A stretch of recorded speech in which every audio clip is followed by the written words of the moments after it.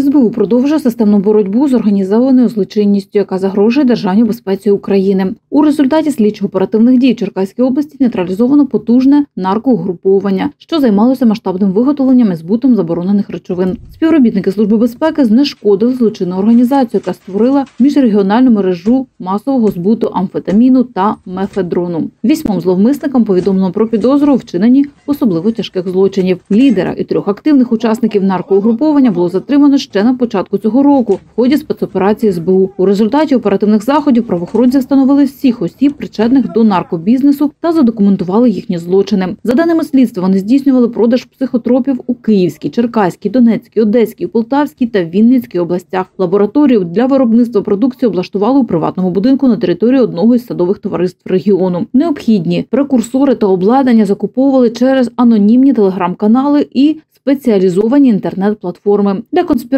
своїх дій зловмисники збували роздрібні партії через так звані закладки, а оптові прихованими поштовими відправленнями. Під час 32 обшуків за місцем проживання фігурантів, а також у нарколабораторії, серед іншого було виявлено заборонені речовини і устаткування для їх виготовлення на майже 4 мільйони гривень, незареєстровану вогнепальну зброю. Наразі слідчими СБУ вісьмом фігурантам повідомлено про підозру за низкою статей Кримінального кодексу України. Заходи з викриття правопорушення проводили співробітники СБУ в Черкаській області за процесуального керівництва Черкаської обласної прокуратури.